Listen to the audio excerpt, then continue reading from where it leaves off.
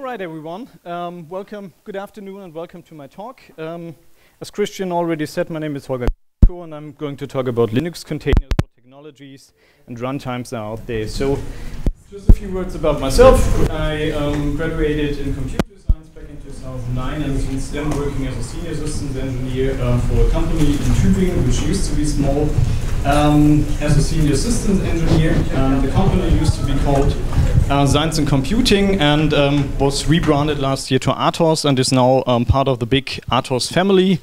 And um, yeah, we're dealing there, as Christian said, with customers from, from automotive all over Germany and um, support their workstations and um, HPC installations locally. And as a nighttime job, I'm a, a research student uh, at the Institute for Cloud Computing and IT Security in, uh, at University of Furtwangen in cooperation with Plymouth University. So what am I going to talk about today? Um, first of all, I'm um, going to give a brief introduction, including the core technologies for, uh, for containers. And in the second part, I'm going to talk about container runtimes for Linux, um, which are available. And then conclude, yes, of course, with a small summary.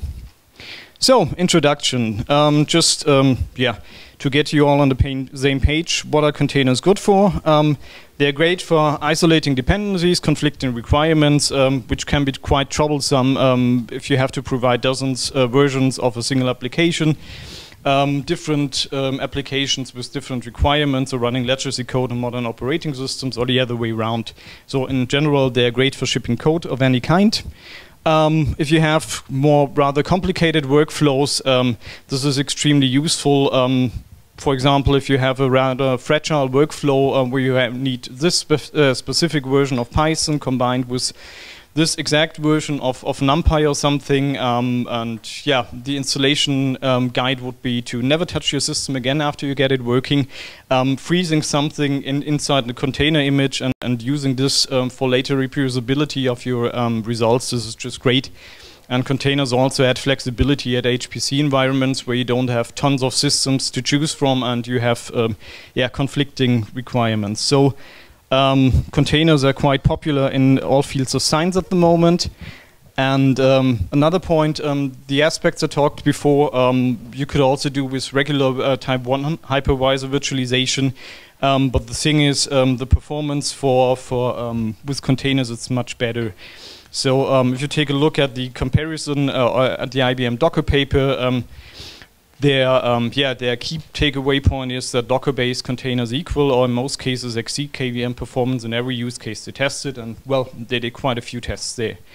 So, um, what is different with containers? Uh, on the left, you see the traditional stack with hardware uh, on which a hypervisor runs on the VMs, including um, a separate guest operating system uh, running an independent kernel and guest operating system. I'm repeating myself. Um, the binaries and library which belong to the application, and on the other side, um, you have the container approach, um, where all containers running um, share the same host kernel, and the containers only consist of what the application needs to run. So, uh, in case you want to ship more or less just an application with its dependencies, you have a much um, larger entity, uh, much smaller entity than with VMs you you have to ship here. So please keep in mind, um, yeah, containers are no magical virtual machines, but something different. And um, if we take a look at the history of operating level virtualization, um, it basically all started with change root uh, on, on Unix-based systems, and then you had Jails on, in BSD. Um, in 2002, the early work on the Linux namespaces, which is one of the cornerstones um, of um, container-based virtualization on Linux, uh, was started, and um, yeah, added more were added up in 2006. Then we had OpenVZ and vServer, which were more or less um, the basis um, for, for LXC and so on, on the Solaris side of things. Um, we had we had the zones, and um, then 2006 um, the C groups um, were developed to yeah put resource constraints on on processes. And 2013 the big blue whale appeared. Docker, which was initially based on LXC and then later uh, moved its functionality into libcontainer. And then we have um, Rocket, um, which came along 2015. So um, the good thing about containers, or the noteworthy thing about containers, is they are yeah more or less just built um, on, on existing kernel techno uh, technology. So there's nothing really fancy, shiny new, which is deeply integrated um, separately in, into the kernel. Um, but yeah, it just uses already existing components and can also be used independent of containers. So um, there's a nice talk from Jerome, one of the leading developers of, of Docker, where he summed this, this whole thing up and needed uh, used this as a proof. Um, he he grabbed more or less through the kernel um, through the kernel um, source code and looked for LXC. Um, so there was no result um, which showed that LXC is somehow integrated into the kernel. And then he went looking on for containers and found yeah quite a few results, um, but these related to data structures inside the the kernel and had nothing really to do with this what we mean with Linux containers or Docker container or whatsoever containers. So um, more or less, container is just a term people use to describe the combinations of Linux namespaces and C groups, um, which are both um, features that can be used standalone. So um, namespaces are used for producing um, the illusion of, yeah, you have the system all by yourself, isolated um, operations or namespaces. You start with no isolation um, from zero, and you add whatever namespaces you want, mount, PID, network, name and so on. And um, while the current set of namespaces is more or less adequate, um, for example, we have the PID namespaces, which ensures that inside a container you only see the um, processes running inside your container and not of the host system outside. Um, there's, well, certain room for, for further improvement and additional namespaces. Uh, for example, a, a time namespace or device namespace. And on the other side of things, we have the C groups, um, which are means for limiting resource usage. For example, ensuring that um, one container does not eat up um, all the CPU or memory of the host system and thus crashes um, yeah, the whole system. So keep in mind, these are technologies which are out there for quite a long time and can be used independently of, of containers. So what container runtimes do we have? Um, first of all, we have Docker.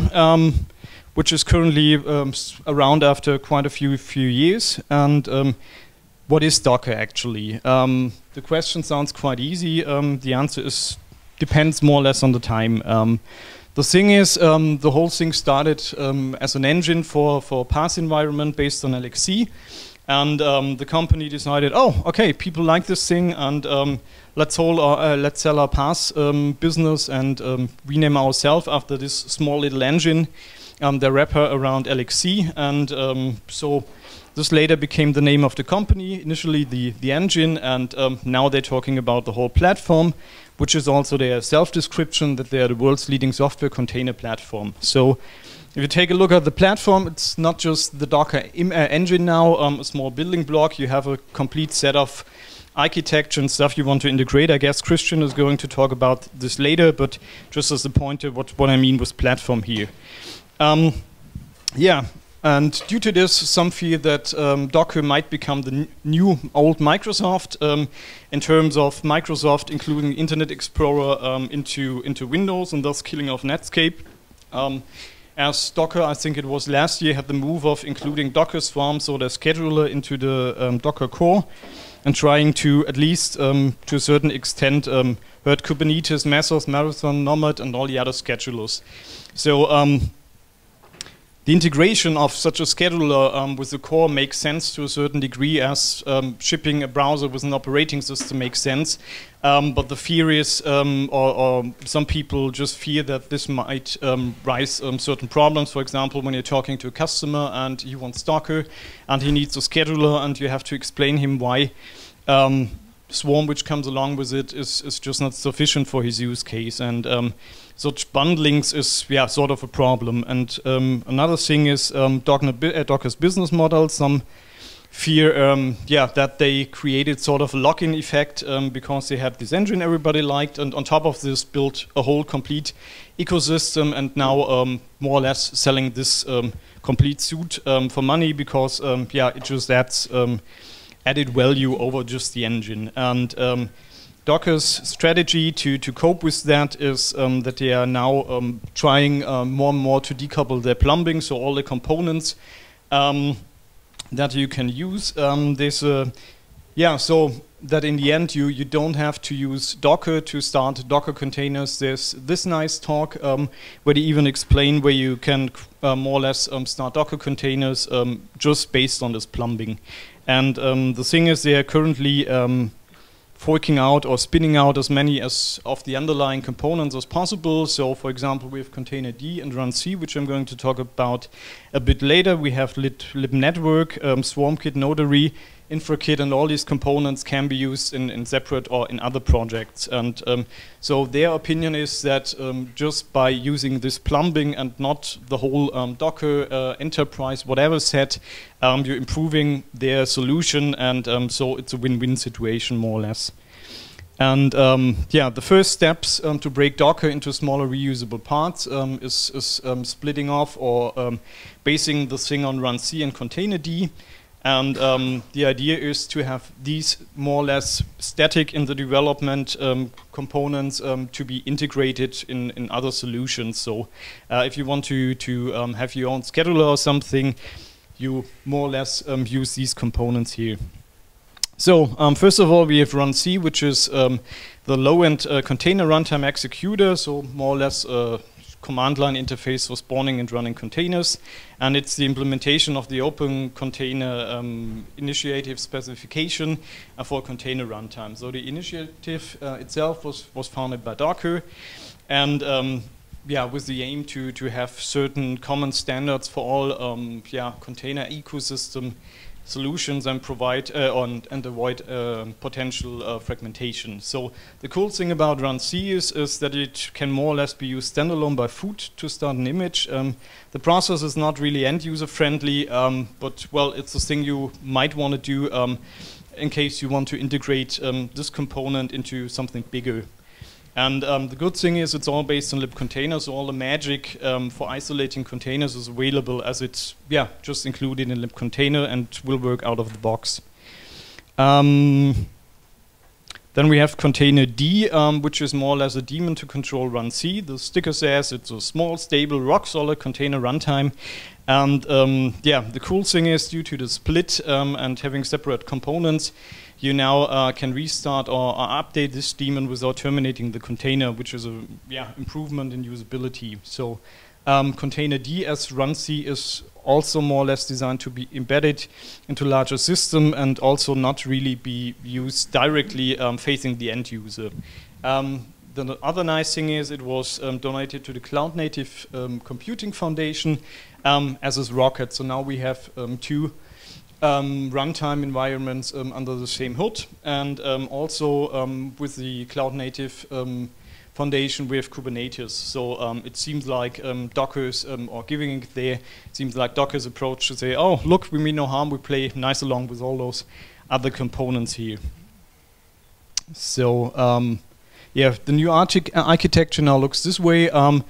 we have a, yeah, the, the, user can still use the same Docker user interface and commands. Um, this interacts with the Docker engine.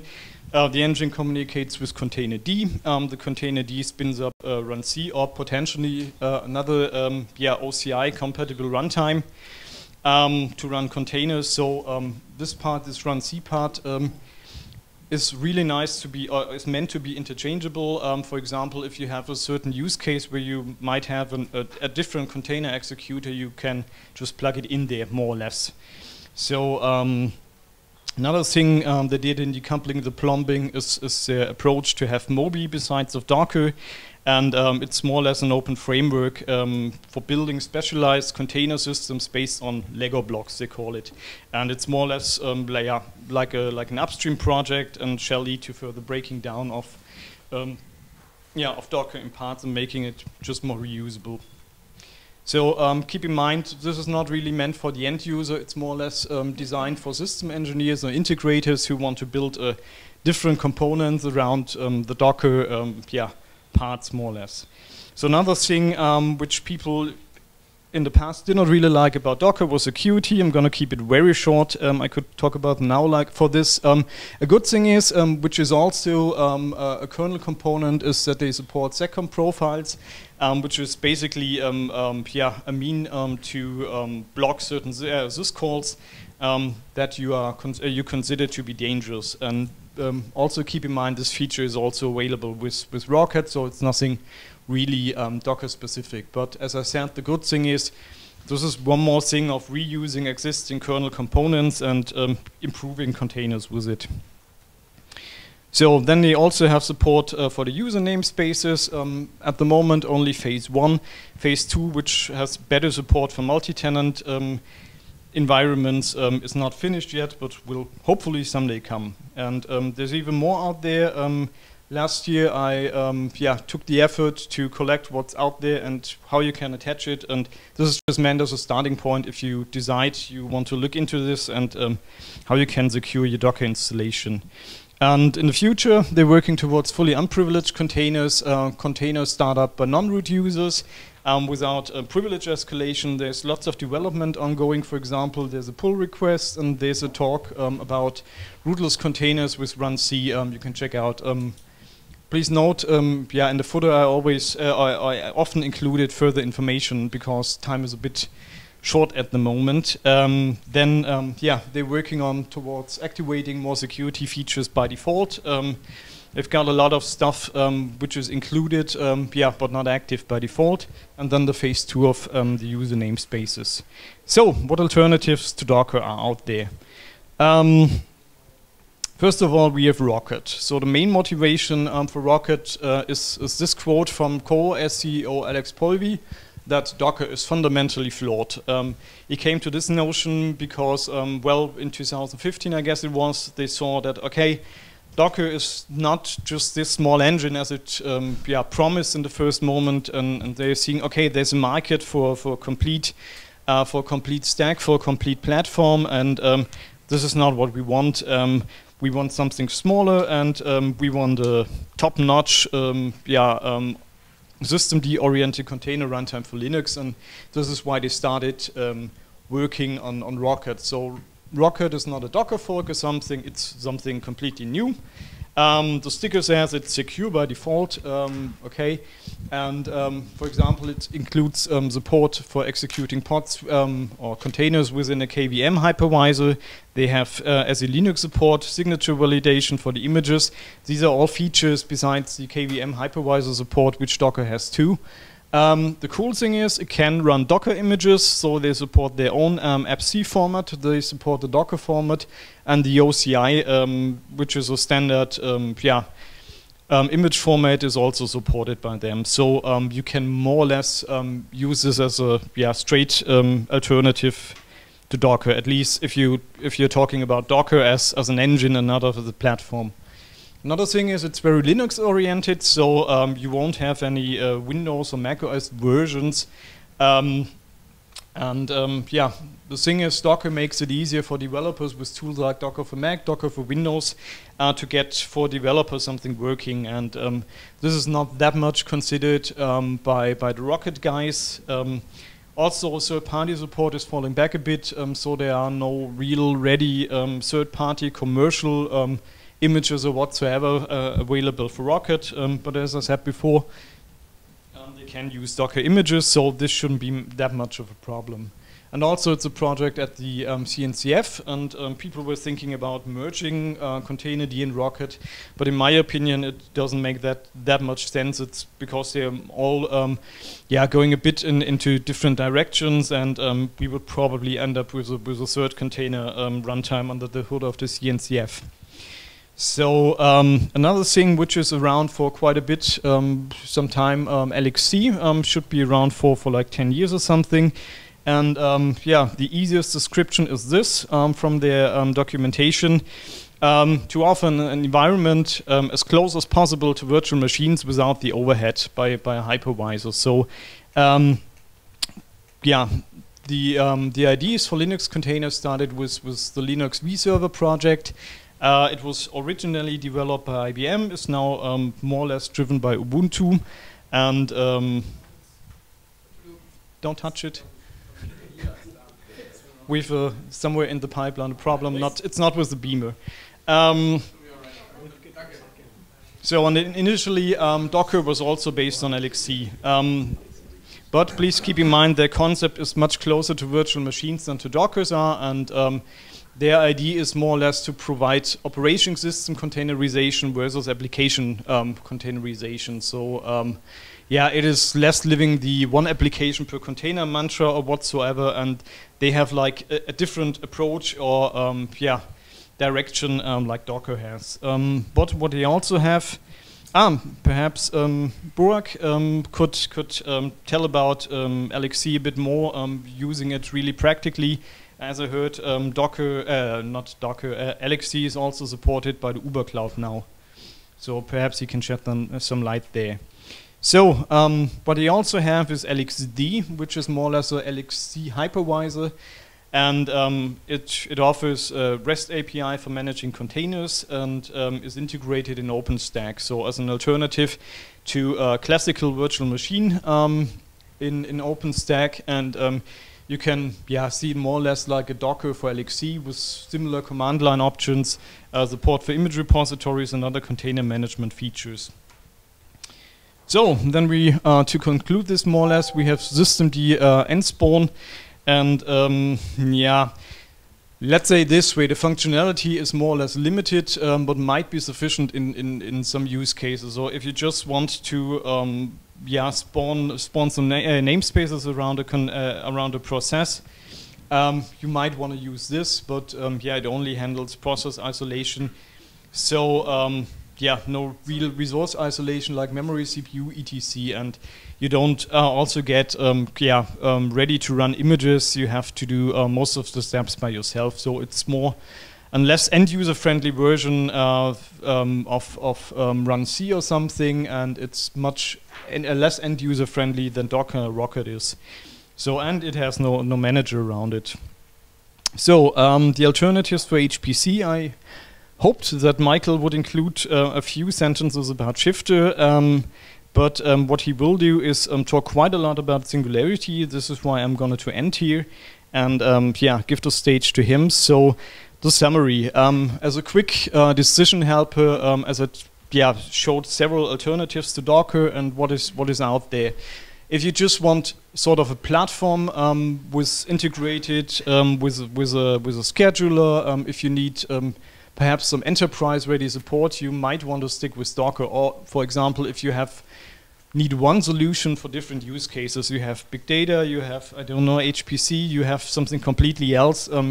You probably want to go with Docker. Um, if you want to integrate Docker into something bigger and into your own product or something, uh, you might want to use Docker low level. Um, if you want a general purpose alternative to Docker or just are confused by Docker because every day or every week something is changing here and new products come along, you might want to try out LXC, uh, Rocket. And LXC is the thing if you want more system, not application um, containers. So, and um, yeah, if you want Docker low level, which with much lesser features, you want to use systemd. nspawn. And um, if your other computer is a Cray and you do want something like containers, um, you might want to give Shifter a try. And if you do HPC and basically only HPC, you want to stick with Singularity. So to wrap things up, containers are based on existing Linux kernel features. They are not something completely new. Um, fancy, shiny, and have been around for quite a, quite some time, or at least the, the technical basis um, of it. Um, there are several viable um, options um, out there for, con for containerizing workloads. Um, for example, Rocket, which is quite yeah, usable um, now and um, yeah, is, is considered to be production uh, ready by many.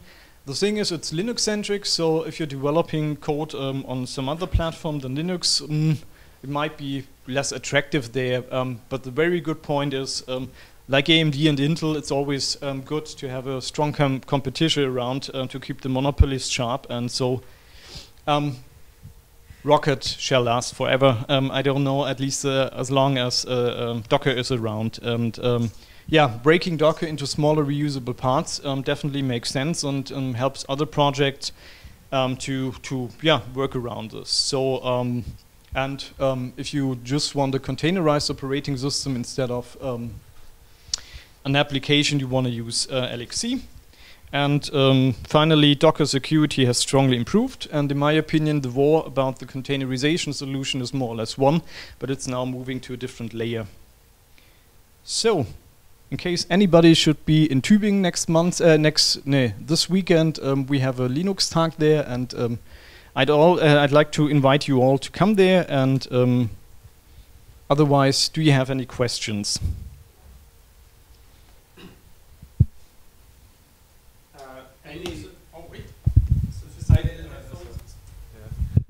Any comment uh, on Charlie Cloud and uDocker as alternatives to Shifter and Singularity? Not for me, at least. no.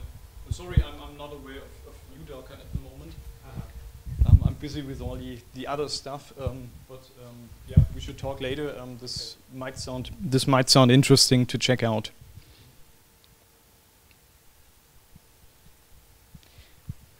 Okay. So, in case there are no more questions, um, feel free to talk to me later, and um, otherwise, thanks a lot for your time. Yeah, thanks, Holger. Yeah, sorry for the flickering. I, I blame Windows. Um, it's always a good thing. I have an